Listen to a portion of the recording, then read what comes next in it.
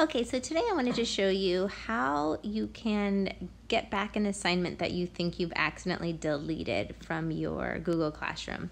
So here we're looking at our ACE Writing, our Endangered Rainforest assignment. And I'm going to pull up uh, the actual assignment.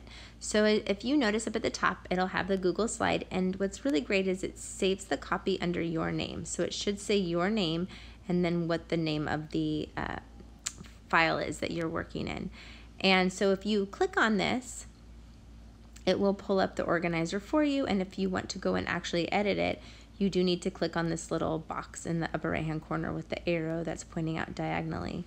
And that will open it in Google Slides so that it is really easy for you to uh, type and make changes to these text boxes and edit it. Uh, okay, and then if you want to get back to Google Classroom, you would just double tap on the home screen and you would click back on the classroom and then you can click on the X in the upper left hand side to get back to the assignment. Now what's happened, what a few people have accidentally done is you've accidentally clicked this little X um, on the assignment and that will remove the, the attachment.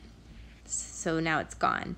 Don't worry, that was just the attachment. It's already saved a copy in your Google Drive. So what you would need to do is you would need to click on Add Attachment, click on Drive, and if you're not sure where it's saved, just up to that little magnifying glass and you can search for it. It's saved under your name. So we can just type in your name and it should pull up. So if I look down, Katie Zino, student ACE writing organizer, I could click on that and now it will re-add it as an attachment.